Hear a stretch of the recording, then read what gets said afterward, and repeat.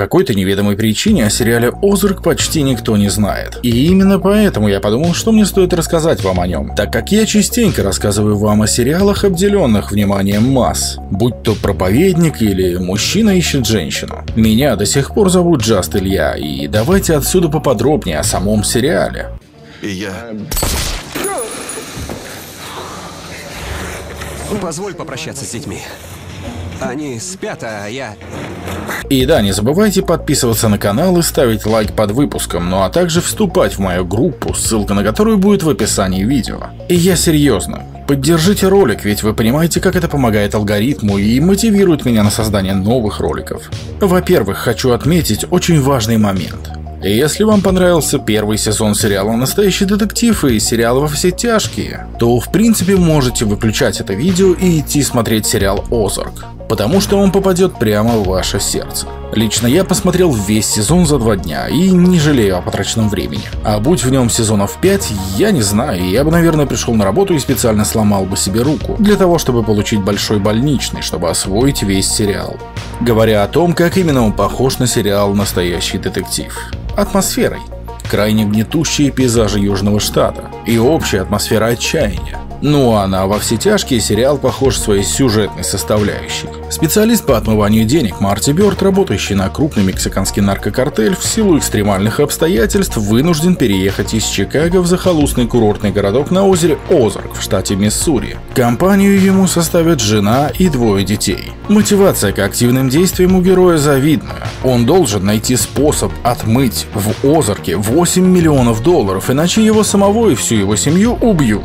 Да, вот только место для прачечной оказалось уж очень неподходящим. И деньги отмывать тяжело, и местные не слишком дружелюбны. Герою предстоит иметь дело с брутальной главой местного стрип-клуба, локальной бандой мелких преступников и даже региональными производителями героина. Да и родной наркокартель дышит в затылок, не говоря уже о сложностях в личной жизни. По мере просмотра невольно вспоминаешь сериал «Во все тяжкие», хотя сюжет имеет очень отдаленное сходство. Манера повествования чем-то схожа-то, и собранный герой, умеющий ловко решать сложные проблемы и постепенно преуспевающий в преступном мире, хотя когда-то и не помышлял о такой карьере, напоминает Уолтера Уайта. В общем, аналогии напрашиваются.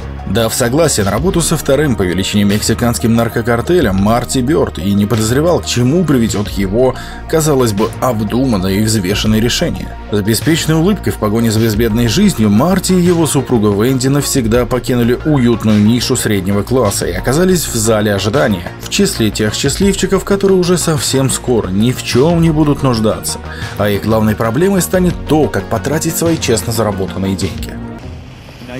Мало тебе было, да? Деньги присвоить решила? Хочешь развода? Я тебе покажу, где раки зимуют.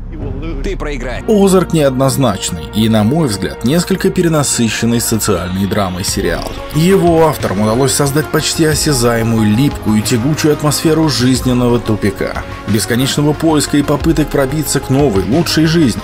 Они наполнили сериал разными, сложными образами, каждый со своей историей и драмой, со своей верой, желаниями и убеждениями.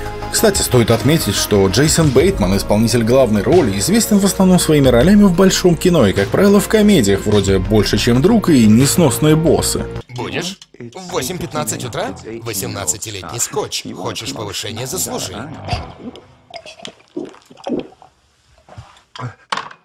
Но в сериалах он смотрится заметно лучше.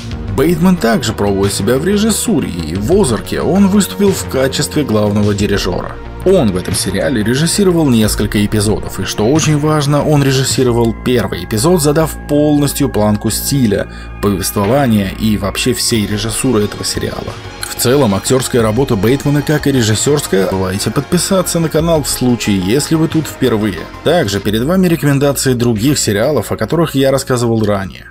Всем спасибо и пока.